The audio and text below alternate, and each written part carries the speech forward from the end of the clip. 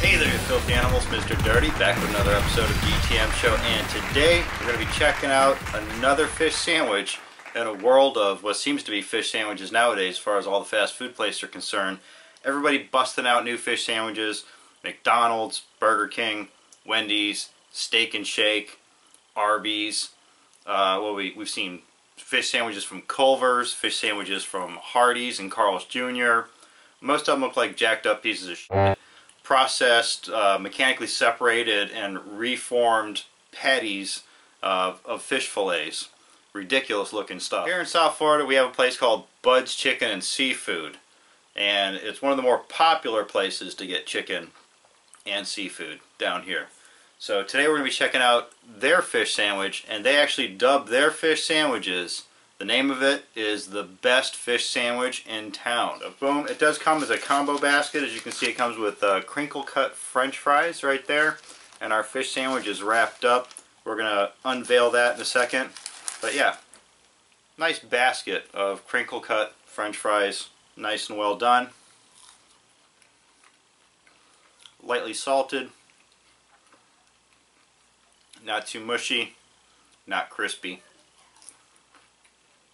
Right in between. Okay, here we go. The fish sandwich itself, dubbed the best fish sandwich in town. So boom, there's what you get. And as you can see, we're not dealing with triangle fish here. We're not dealing with fish sticks. We do have a uh, generous portion of tartar sauce, some chopped lettuce going on. I do see a slice of cheese. Let's just flip this bad boy over.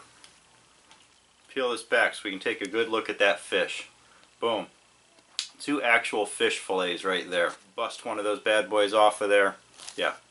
Real fish. Crack it in half so you can see. Real fish fillet. We're not dealing with anything that's been mechanically separated. This is actually a fish. Only one thing left to do now Let's take a big old chomp out of here. Yeah, nice crisp breading on there.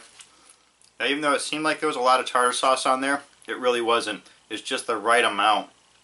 I mean, these are such thick fish fillets. It complements them nicely. Just gives it that nice little tang that it needs to without it just tasting like nothing but tartar sauce or like we saw in the past where the uh, the mix wasn't very good and they some of it just tasted like onions.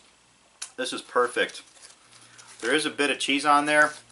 That's not really coming through that much. I mean, just slightly. Slightly got an American cheese kind of flavor going on. But mostly this is like fish flavor. Fried fish flavor. Your bun, just a sesame seed bun, run of the bill. Nothing special going on there. But yeah, two actual fish fillets on the bun, cheese, tartar sauce.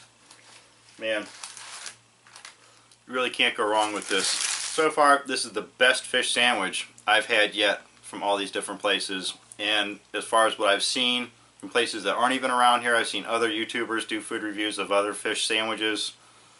This blows that out of the water. This right here is how a fish sandwich should be. Five out of five. Alright, so there you have it. It's the uh, best fish sandwich in town from Bud's Chicken and Seafood. If you've had this already, let me know what you think. Leave me a message down in the comment section. You can also follow me on Twitter at The Real Mr. Dirty. As always, get out of here. Go have a rotten day.